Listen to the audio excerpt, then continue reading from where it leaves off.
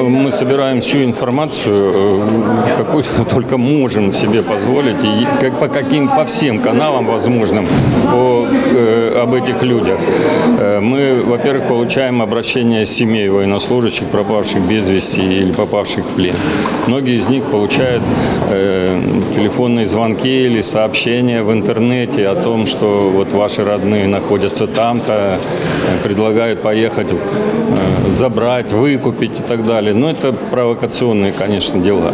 Вот, мы получаем информацию и от э, уполномоченного по правам человека в Российской Федерации, поскольку многие люди обращаются к ней напрямую, а мы, э, перерабатывая эту информацию, э, оказываем поддержку семьям таких вот ребят, которые попали в, в такую сложную ситуацию на Украине. Вот.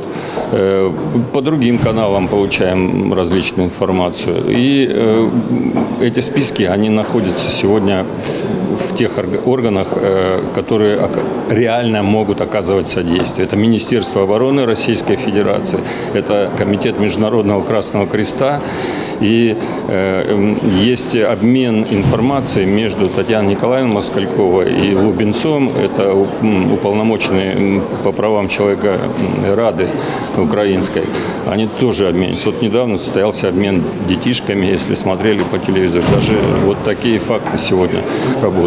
Я еще раз говорю, что из Барнаула мы тут не можем заниматься конкретно, но мы делаем все для того, чтобы подключить э, различные органы, различные структуры, включая международные организации, к тому, чтобы э, произошел обмен либо пленным, к сожалению, лишь да- даже для того, чтобы вернуть тело погибшего.